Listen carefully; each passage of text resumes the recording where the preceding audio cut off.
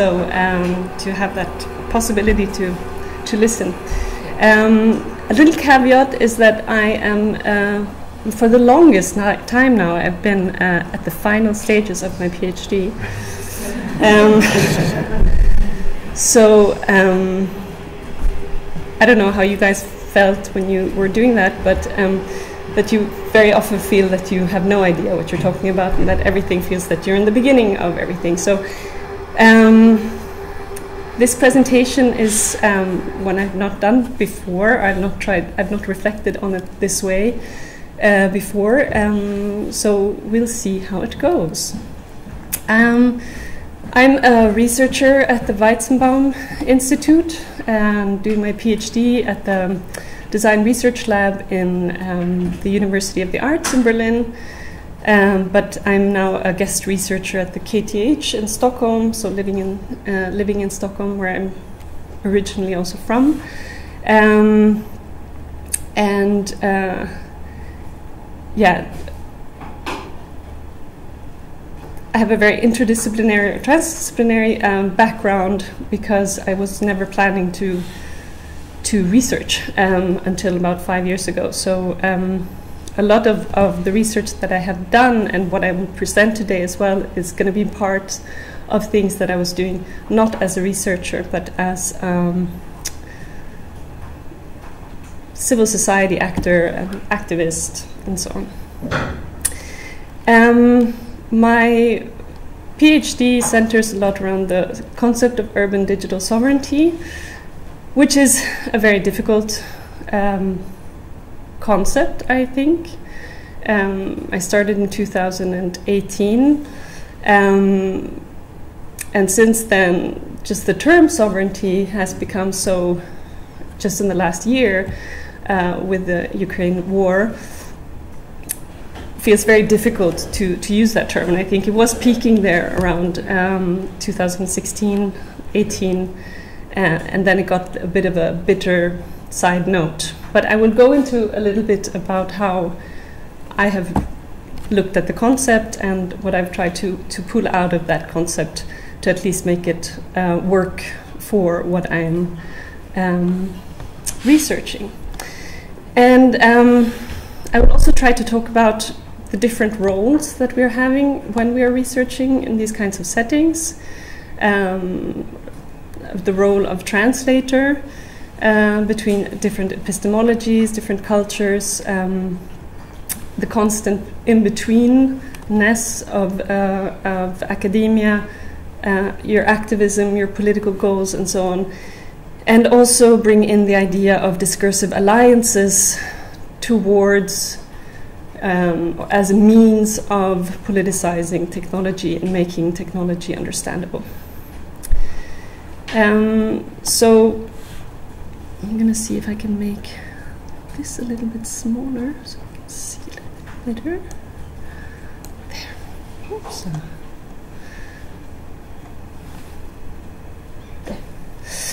Um, technology production has always had a very special place for cities, and um, starting with the Industrial Rev Revolution, which was recreating urbanity in its core and as well as today with digital technologies. And the rearrangements of cities through data driven technologies, platforms, centers, sensors, etc., are rearranging the way we think of governance, politics, power asymmetries, and the relationship between democracy and capital. We have uh, smart urbanism propagating forms of data driven oversight of city governance and the operation of city services through digital infrastructures and now also ur- uh, platform urbanism, which is to its core resembling ownership, ownership systems, labor markets, and much more.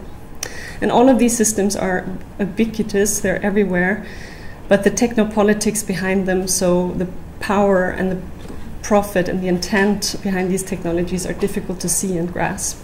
So, how can we start understanding the interests, imperatives, and impacts of these ubiquitous technologies? And I think this is probably now the research question of my PhD. How can we start? Um, how can we start um, making technology understandable to start a, a, a, democratic conversation? And making these dynamics visible, legible, tangible is a prerequisite for practicing urban digital sovereignty. Um, and because cities are the main sites for experimenting with new technologies, I think it's really important to also see these as sites for the experimentation with forms, new forms of empowerment, reappropriation of technology, and the enforcement of democratic conversations about our uh, digital futures, and starting to rethink um, digital policy. So, um, what do we actually mean with this term? It's a very normative term that has been um, able to serve as a projection field for a broad spectrum of actors.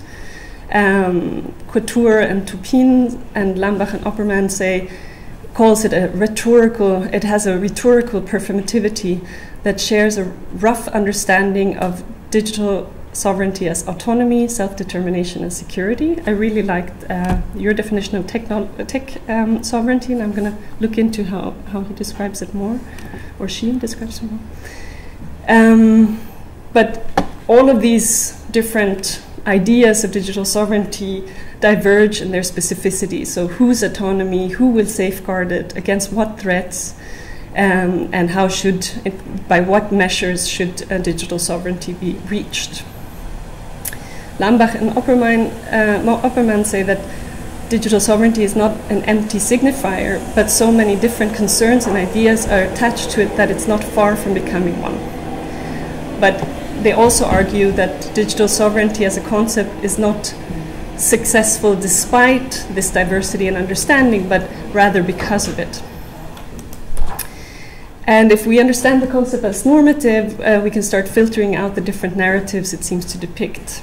I'm not going to go into this very deeply, um, but I can say a little bit how I, how I got engaged with this concept from the beginning of, uh, um, of, under, of how I felt the word uh, sovereignty at the time in 2016 to 18, uh, where I was relating it more strongly to uh, um, food sovereignty and that entire narrative of not just food security being uh, you, you have access to food, but actually food so- sovereignty, where you are managing and have power over the, the food production uh, to be able to, to ensure that you have food. And that's how I thought digital sovereignty was, uh, was meant. Um, but in the last five years, this term has very strongly gotten related to territory uh, be it on a national level or on a supranational level, especially, especially in the EU and especially in Germany. So, uh, this, as, as the Via Campesina uh, example, um, this narrative of digital sovereignty is understood as digital self determination and autonomy through collective control and it's increasingly articulated by civil society and entities of global social movements. Um, this narrative um, sees digital, digitalization as a positive and a way for communities uh, of community empowerment, but only if the technology is controlled and managed within the community ecosystems themselves. This is not the main strand of understanding for digital sovereignty at the moment. It's more the territorial form of digital sovereignty, where the enormous power of corporate actors that thrive in the, in the commercialized digital environment, holding the material and immaterial power of owning vital societal structures, has given rise to a new structural and expansive thinking about the domains of democratic self control. And this is the most prominent category of digital sovereignty claims, specifically in Germany and Europe. Uh, so it's about state autonomy and self determination of states towards other states um, and states' forms of, of protecting their own democracy. Uh, one form that I find very interesting um, and that I've used a little bit more in my PhD is the understanding of digital sovereignty as democratic digital sovereignty. Um, here, it's understood as democratic self determination and democratic control and accountability of the digital. It is a narrative that is seldom on the center stage in the German or European discourse, but often lingers in many policy documents and civil society conversations in their understanding of digital sovereignty. It stays vague, but here we find demands of public participation and decision making on digital policy. We find critical popular education, digital empowerment, and the need for protective regulation. Um, in this narrative, we've left the external sovereignty idea, so the sovereignty towards external powers, uh, and also towards other states and their companies.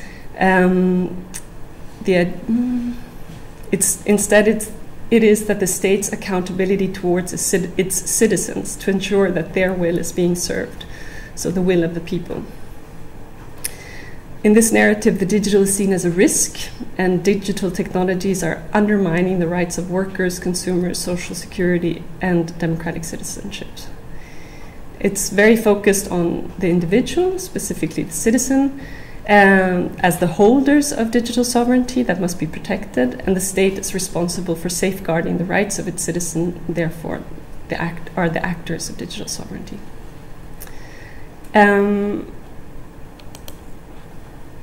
with this very divergent understanding of digital sovereignty, um, I'm seeing, or my hypothesis is that the term can be used as a sort of a boundary concept it has the interpretive flexibility to engage with different stakeholders, but it but this interpretive flexibility makes the concept a poor guide for policymaking. It can be used to legitimize, legitimize various policies, but offer very little guidance for actual policy choices. Its main value lies in politics as a useful tool for organizing political coalitions. And with this idea, I've tried to um, filter out some themes and measures found in different digital sovereignty narratives that can be used on a municipal level. Um, but digital sovereignty is never described as a static state, but rather a continuous process. And uh, I tried to make an analogy uh, to Brenner and Theodore's statement of actually existing neoliberalism and Shelton, Zook, and Wiig's adaptation of the actual existing smart cities it might not fit perfectly yet, but um, I got stuck a little bit with this idea of trying to look at actually existing digital sovereignty. A lot of aims of digital sovereignty pertaining to territory, specifically in the global context, will not fit in the city, but key themes can be used uh, on a municipal scale as points of possible coalition building. I'm um, not going to go much deeper into this right now, but I hope we can discuss it more later if we feel like it um, but look now more into the, the actual projects that I've been working on. I'm going to present two projects that I've been involved in directly during the last several years. I counted seven years, which was scary. um, and also, as well as some research that's just happened on the side um, to open up the conversation on roles that I found myself within community engaged research. It is the role of a researcher as the translator, intermediary between different people, epistemologies, institution, and languages. Um, so, sorry. This is the first project I want to present. Um, this is a project I did not as a researcher, but as a uh, heading an organization called Common Grounds and it was a research project called MAZI, which means together in Greek, and was a Horizon 2020 EU funded research project involving nine partners from four European countries. And um, the idea with this, with this project was to use community networking technology and uh, wireless networking technology in non tech savvy uh, groups to try to understand. Uh, so we were interested in community networking technologies, and the goal was to get non tech educated people to think of logics we know from the internet, like Wi Fi signals, for example, but also social networks and the cloud, as something that we can build, uh, own, manage, and design ourselves, and above all, use them locally. So we call them local digital um, uh, do-it-yourself networks, meaning they're not connected to the internet like Wi-Fi or Freifunk, but but are small hyperlocal um, internets. And the guiding principle was to address the problem of alienation and access by designing a toolkit that provides low barriers for participation by using affordable, off the shelf technologies and shaping an inclusive terminology and dis discourse around the design of the prototype. The initial iteration of the toolkit was designed using open source components, including Raspberry Pi and SD cards, and the software was developed in part by the project partners while integrating existing free Libre open source software um, to create plug and play installations, allowing for an easy to use local digital network with some preset application. But the toolkit was not just this hardware software device, but it was more also looking at or we were um, these technical elements were accompanied by documentation of the use cases and experiences, so a lot of storytelling of how we got engaged with these communities, uh, and other physical materials such as posters, guidelines, and storytelling pamphlets. And all of this became then the mazi toolkit. So the, the question we were asking in the project was, what does technology look like when, when it's conceived and developed in very local contexts? What can neighborhood technology look like, and how can technology development or how can how do we need to design technology development to make these kinds of engagement with non-tech uh, people possible? The project was divided in different pilot teams. We had a pilot team in Berlin made up of myself as a community partner and uh, my colleague Andreas Unteidig from the University of the Arts as the academic partner. And my role um, at that time was to make the bridge between this technology, this research project, with the communities we were working with. So that was um, tenant movements, um, socio ecological uh, projects like urban gardens, like the Prinzessinnengarten, which I was also part of, and the Neighborhood Academy, which I was part of. Um, yeah, and this was the biggest problem of this project, obviously. I think this is the, the big this was the biggest question for me, at least in this research project of how can you engage these kinds of community into into technology. And this was very clear that first of all, these are communities that are working on their free time. They have a very clear clear um, political goal.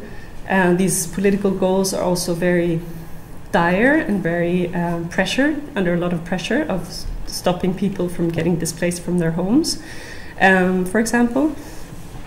So, how can we do a research project with them where the research is actually adding value to their work and not putting extra pressure on, on their work, as well as yeah, how how that I think this was the main priority for me, at least in my in my role at that time, of creating a situation where this was important for them and not just because it was a research project for us.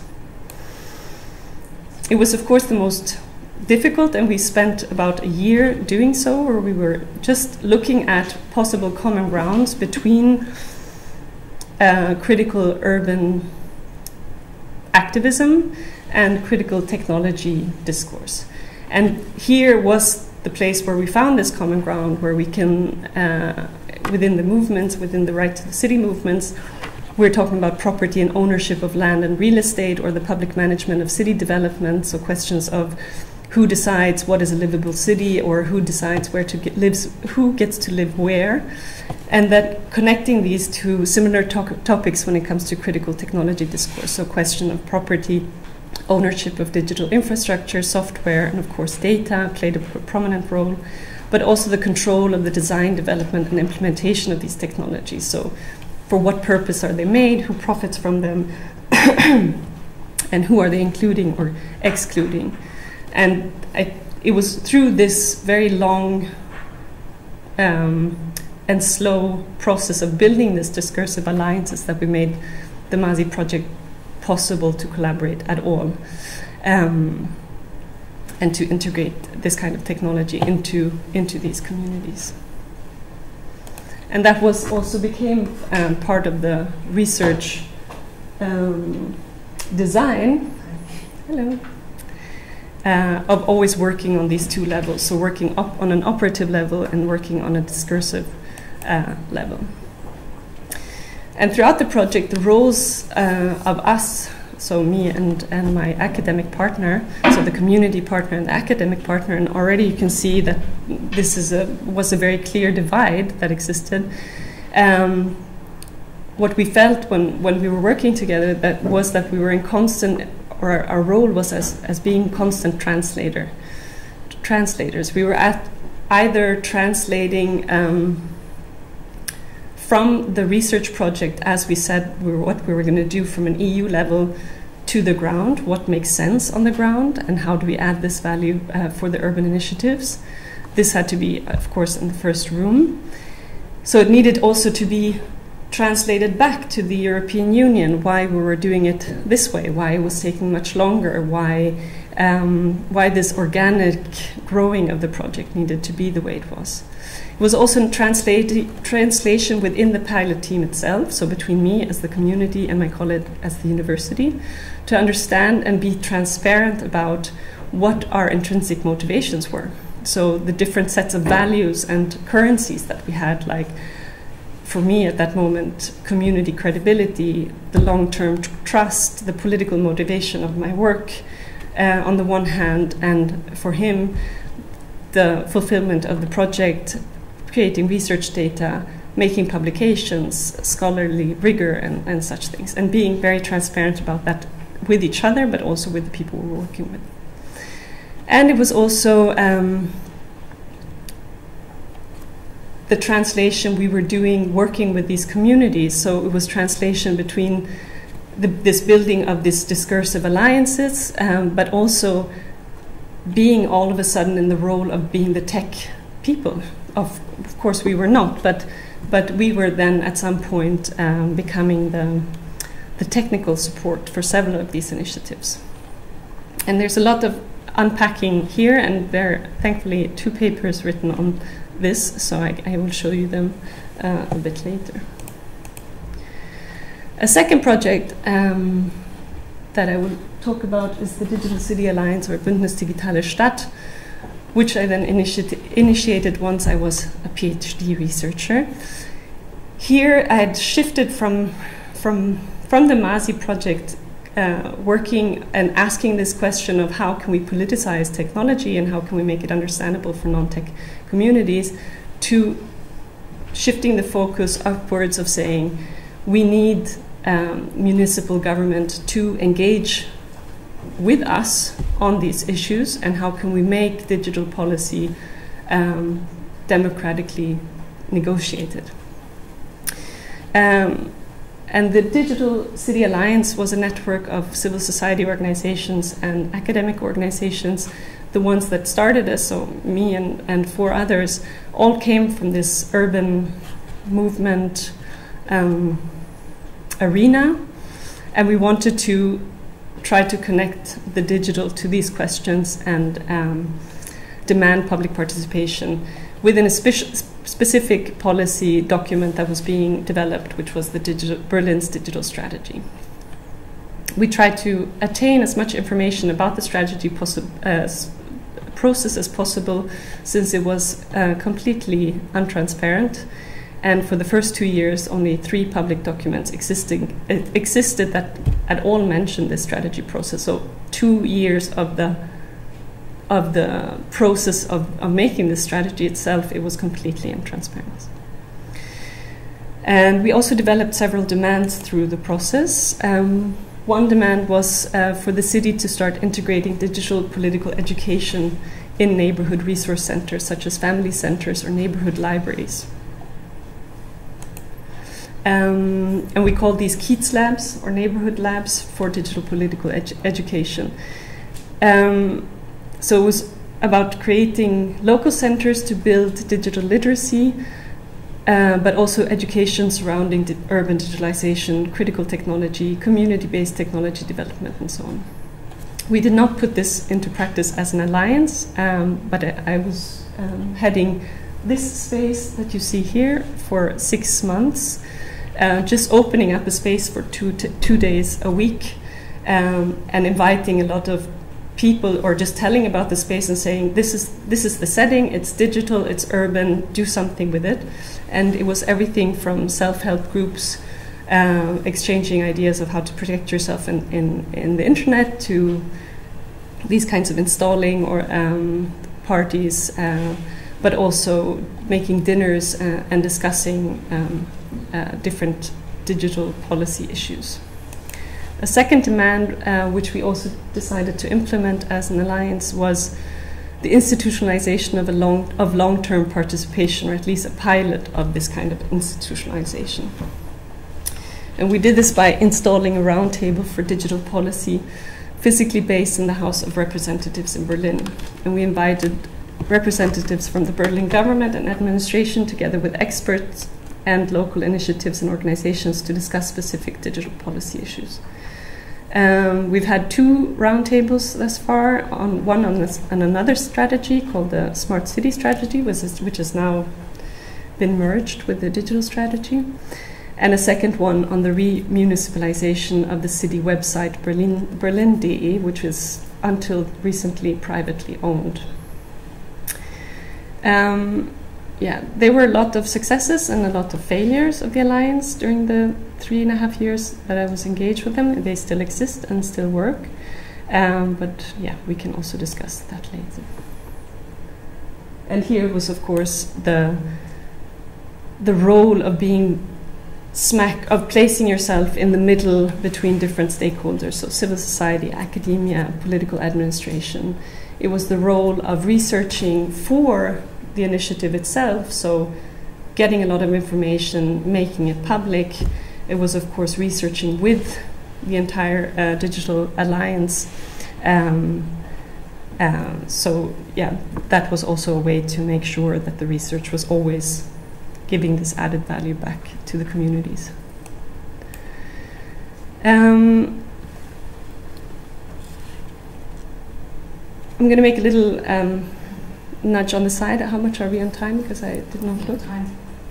Yeah. So it was a lot of the focus is looking at how we can find new language, um, new languages of understanding uh, technopolitics, and here you see uh, languages that we do understand. We understand um, urban movements. We understand um, right for the city. We at least know what the slogan means. Um, and how can we start creating that kind of a language uh, beyond or for the for the digital city? And I think some of the examples that I showed now already show these discursive alliances. Now I just want to show some other examples which I think are really interesting, uh, where this is happening, um, or where this happened as well. This is a very prominent example. No, I was not directly involved with the, with the upcoming examples it was the fight uh, against uh, Google campus that was supposed to open in a very contested space in Berlin, uh, in a neighborhood where people were already very active uh, uh, against gentrification in in that certain street actually.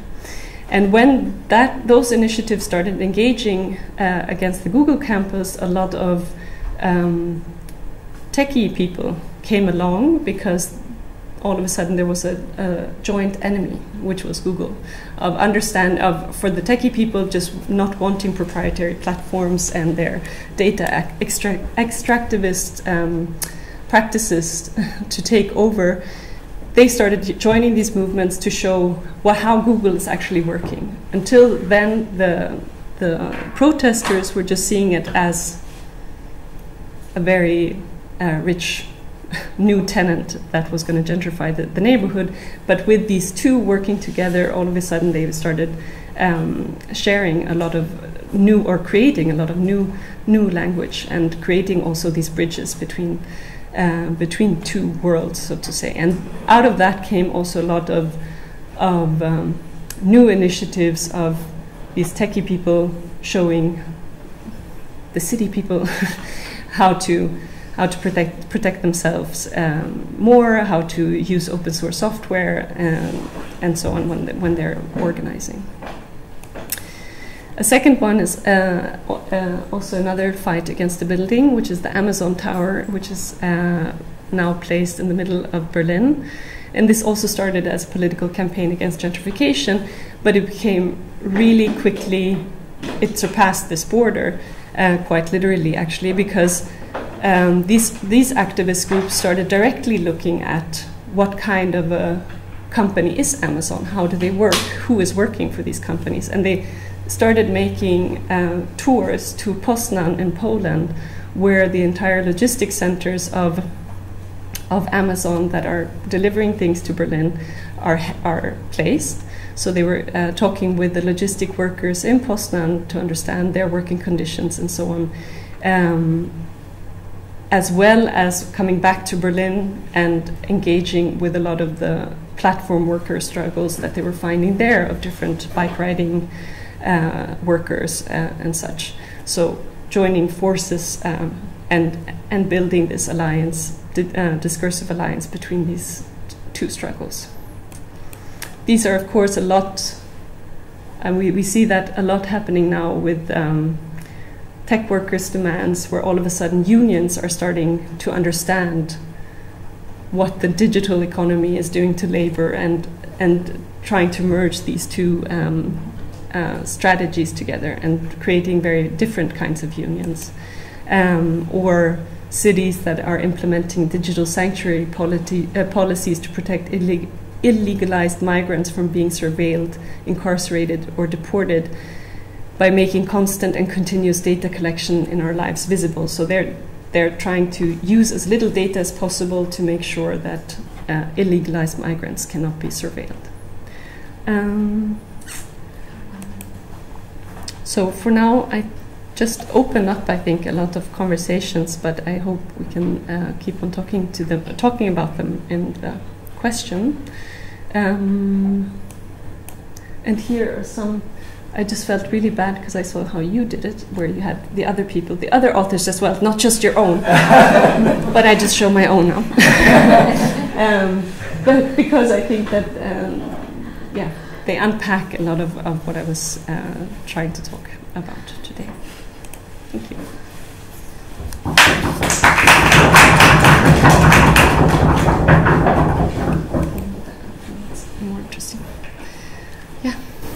Thank you so much. Um, I'm the discussant for this uh, great talk. Thank you for sharing your thoughts uh, and the projects that you worked with and about.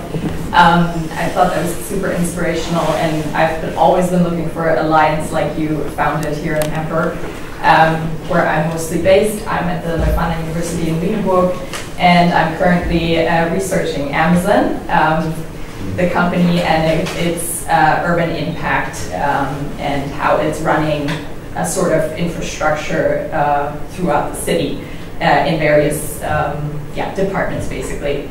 Um, yes, thank you so much. I think you had so many interesting questions underlying what you were uh, telling us uh, through your case studies and everything. And I think one that resonated very much with me was uh, who are we talking about? Who are we talking to? Who are we in our, you know, our positionality and um, in the fields that we work in and with? And also, who are we between the positions that we call researcher, but also activists and people that are politically involved and want to be politically involved also take responsibility as researchers. I think um, you talked about that beautifully. And um, I'm curious, maybe you can elaborate on that a little further, um, how you managed to find a language. I think translation is such an important um, topic to talk about, uh, especially from a, a methodological perspective. And I always find when different uh, disciplines come together, it's like having to find a new vocabulary and having to find a new language together. Like this is the basis, and also being able to name specific inequalities and power structures and everything. Um, to be able to point at them and maybe unpack them, or maybe just deal with that we can't unpack them in a way. So I'm curious how you how you manage that, and also maybe um, how you did what you um, described, or what I would kind of maybe call a sort of code switching between different roles and disciplines and backgrounds and stuff like that. Um, I thought that was super interesting, um, also considering the local knowledge that was involved, which is also an interesting question. Should we translate everything, or should some things maybe not be translated to, yeah, not make communities vulnerable, mm. um, which is like a, I think a big discussion also with indigenous, uh, indigenous knowledge in the U.S. right now or uh, Northern America. Um, which also brings up the question of authorship, for example, which we uh, saw with you as well. So um, yeah, maybe you can talk about this a little bit more. Who's involved? Who has the time to be involved? Yeah. Involved also as us researchers. Um, and uh, thank you so much. I appreciate it. Yeah, thank you. Um, yeah, so I think let's start with the who has time to get involved. I. Uh, I think this is what we bring to the table when we are paid researchers. We can bring the time, uh, and I think this is this was also a way um, for me, at least, to to work in the Digital City Alliance was to take a lot of the responsibility also on myself because I knew I have the time. This is my research now, so I can do all of this uh, painstaking work of uh, putting up the web page and uh, like this caretaking work that's that's time consuming and um, uh, yeah, would would take a lot of resources if everybody's doing it uh, on their free time. Um, and I think this is was always a, a, way also when we were doing in the Mazi project where we knew we are being paid because we have this EU funding. So of course we're going to do a lot of the things so that you don't have to do them and try to to make our funding work for you, not only the, the research that we're doing, but also the time that, that we're being paid for. Um, to, to create these languages, I, I think the main strategy was hanging out a lot and spending a lot of time and going to things that were not part of my research but was part of their work or our work. Uh, um, yeah, and creating that that that language through that and or, or bringing up the topic in different kinds of discussions to see what kind of a new language uh, comes out of that. This this other question that you're saying about how what what are we not translating? That was very very big a big question in the Mazi project for example because the technology in itself was very interesting in that point where because the technology was local and hyperlocal, everything that was shared on this technology would stay there, for example. And this became like a vehicle to start discussing what kind of knowledge don't we want to share? Do we only want to share with the people that we're spending time with in this room or in this garden or in this garage or wherever? Uh, so that became a really interesting like conversation of, of understanding that, especially in Berlin, when we're talking about um, free spaces, where do we find these free spaces, uh, who is being displaced, all of these kinds of information that is definitely not going to uh, not going to be translated outwards because they're dangerous for people. Uh, um, it was a great vehicle to make that very clear, to to to make that line very clear.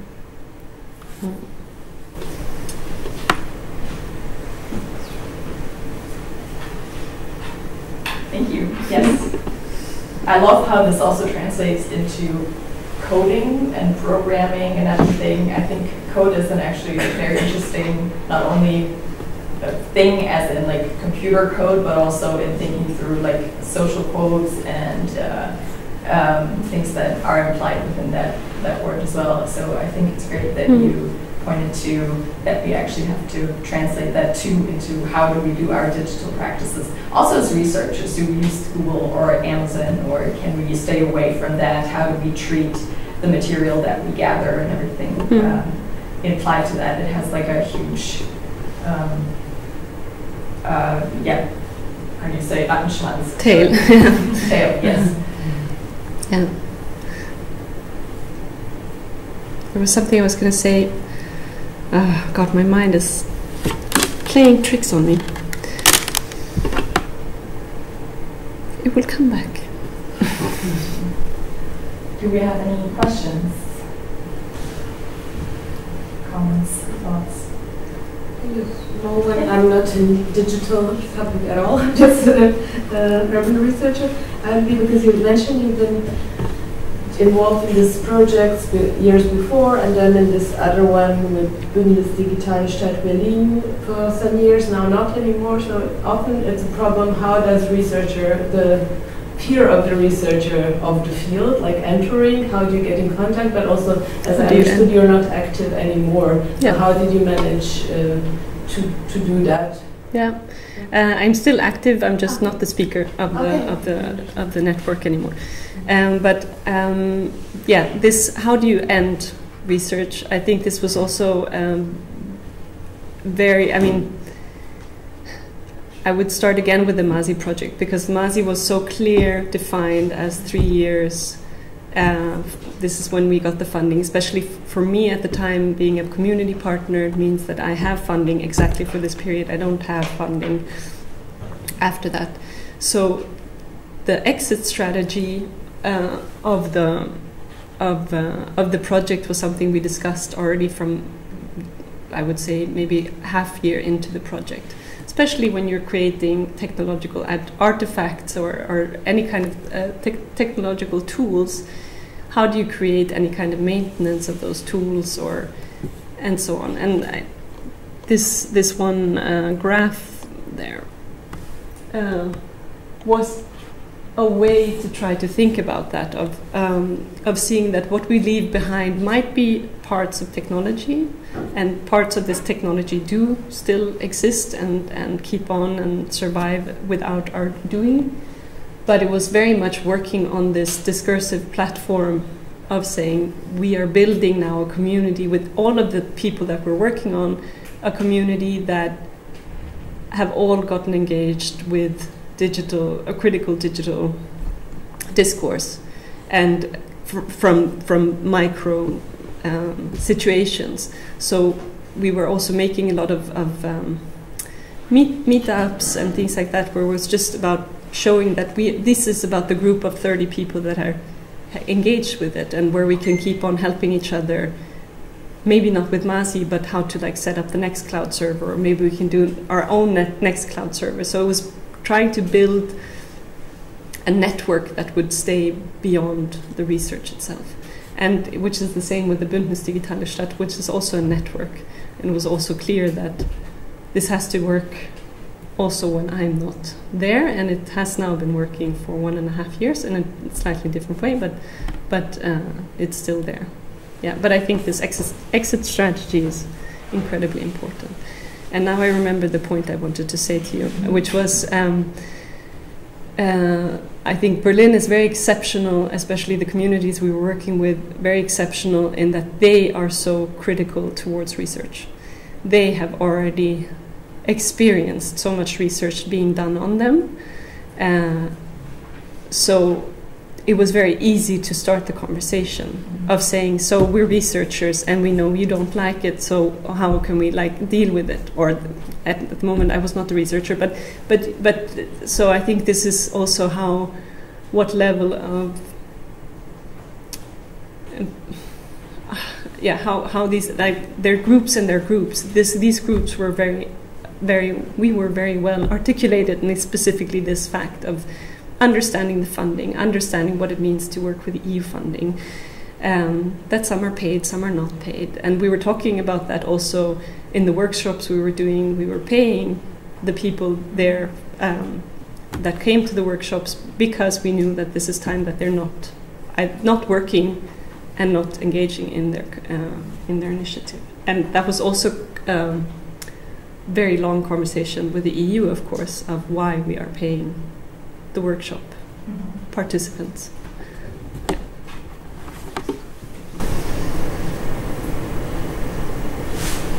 Yeah, so I'm a student, or I was a month ago student here, just graduated from a master's, um, and I was um, dealing with citizen science.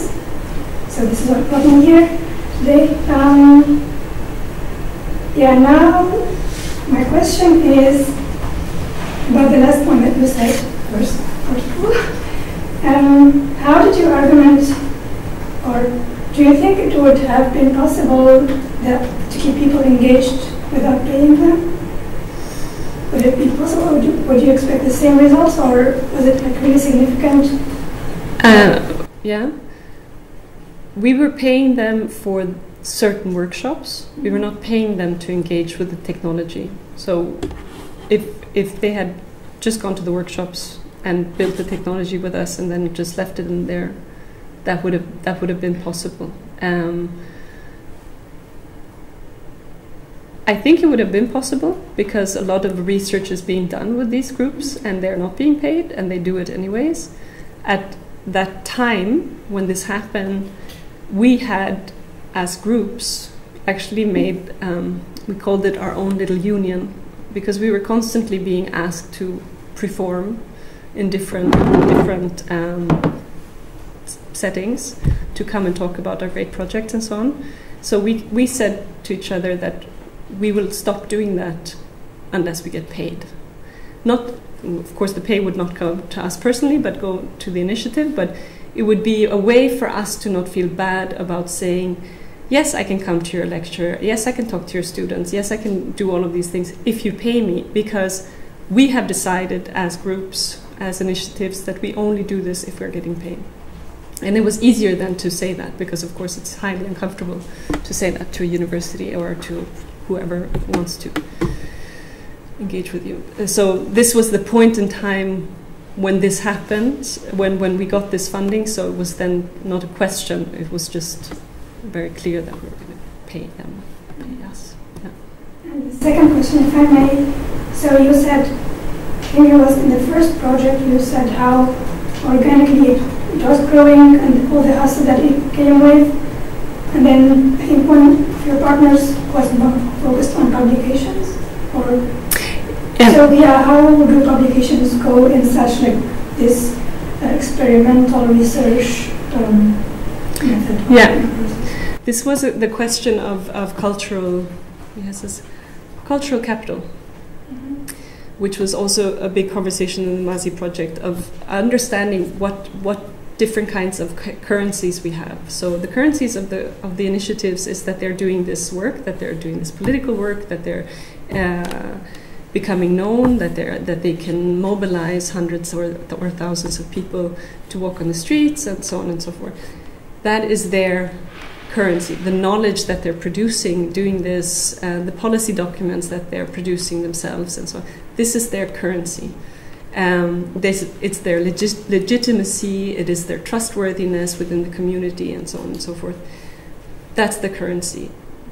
For a researcher, it's not interesting for like as we don't get better status in our university if we can get 100 people to go to a demonstration. We get better status if we public, uh, publish a, a paper. So just making that clear that one person here has to write about this because otherwise he is not going to be able to to justify his his work and uh, I think it was that that clarity of talking about these kinds of currencies uh, and what do you do and how do you treat them? How do you treat that kind of uh, how do you treat the data for example that we were producing during these workshops? Uh, a lot of the things that we produced within these workshops are authored by everybody in this workshop. So any kind of um, prototypes we produce, or, or, pictures, or diagrams, or uh, joint text that we wrote during these workshops were always um, referred to with everybody as authors. For example, of course, nobody cared in the room because they think like, yeah, who cares? But it was at least a way to show that it was not my work, it was not his work. It's this work that we did together.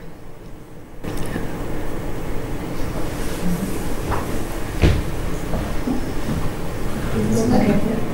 Um, yeah, thank you very much for the nice presentations and also for the insights. Um, I'm a PhD student also doing research on the implementation of digital technologies. And I would be very interested in the intransparency that you mentioned. Um, that was kind of a starting point for the alliance that you um, built. How, how did you deal with that? Like, um, was there like kind of approach that you used for it, or how did you make it transparent? Um, and then I have a second question, but then yeah. So this was um, the intransparency by by the Senate department that was heading the digital strategy process. I think they were just completely surprised that anybody was interested at all. First of all, um, that it was just like what we. I mean, and to tell you the truth, if they had done this strategy 2016, nobody would have been interested in it. But it happened in 2018, and Barcelona had happened, and Francesca Bria had been there, and da da da da. All of a sudden, it started to be, and of course, the Mazi project had done marvelous stuff, but um, it had become an issue, and uh, um, so they were first of all surprised, and uh, it took a lot of time to get them to understand that we were not there to boycott them or to um, only criticize them or to protest against them. We were very open with that. We are very happy that finally a digital strategy was happening. Just we needed it to be more public, and it was a lot of work of building trust with these um, political administrations people. That was a big learning and a big failure, I would say, of the alliance, uh, or a big learning. Um, because we were really successful in building this trust, and we could see that during the, the two roundtables that we had that that they were really telling each other that you can go to this. This is a really productive space, and uh, and they all engaged, and everybody we invited um, from the administration came to the roundtables and, and presented and so on, and they felt they felt it was a safe space. And then came the election, and then everybody was gone. Like everybody was gone that we had spoken with. So the entire, like that entire Riga of people were gone.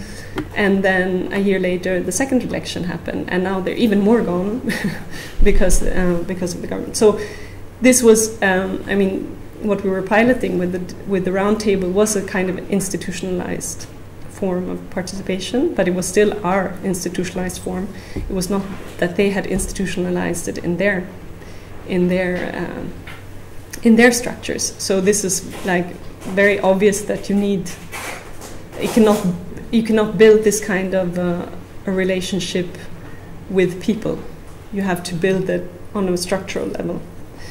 Um, so right now the the city alliance. I mean, uh, now for the last two months since we have a new government, sort of again. Um, we're not sure exactly how to move, but we're looking more into again going back, not trying, not directly engaging with the administration, but instead saying, okay, let's look at what kind of um, digital projects that we can start doing to create concrete policy concrete policy recommendations, and say this is what we need, and we don't care who you are, but this is what we need. so, uh, sort of like bouncing back between these levels. the second one. Um, yeah, if we have enough time, but um, we, then I would. we are a little short for the time. Yeah, then we and just then talk in the, yeah. in the pause. I already It's, raised mine. it's, it's more a comment than a question to um, that there are many sources of feeling unco- unfo- uncomfortable in this field uh, because there are so many clashes between different spheres of activity. So uh, this publication need was mentioned. I, I think you do your PhD besides doing project management work. So all, all the translation processes is what what uh, project management managers tell me about their work.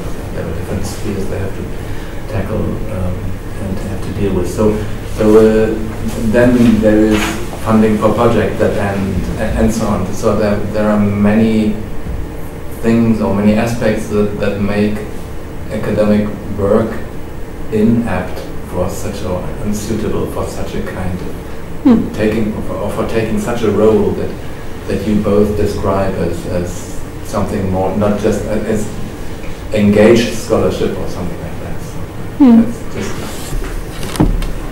came to my mind. And coming to that, also I was uh, thinking because this is basically my concern, so I wanted to hear from you two. Um, that if you do fundamental fundamental research, like academic research and these works, have you also faced with some awkwardness in the in the field from uh, people who are doing the conventional, tr- traditional qualitative research on uh, not being objective or, uh, you know, uh, Yeah. yeah, and it's, it's hard to generalize that, you know, the things that uh, uh, traditional mm, qualitative research um, uh, evaluate the work. Um,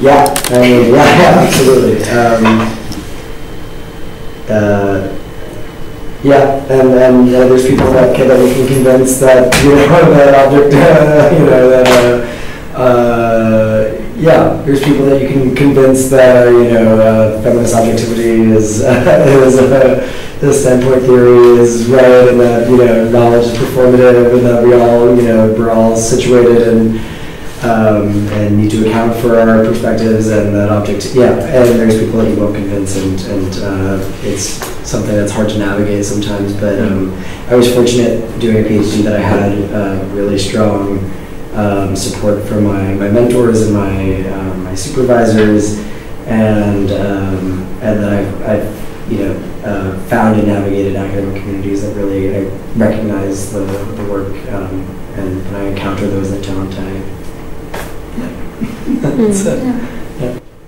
Yeah, absolutely. I, I, the Weizenbaum Institute is a very interdisciplinary institute.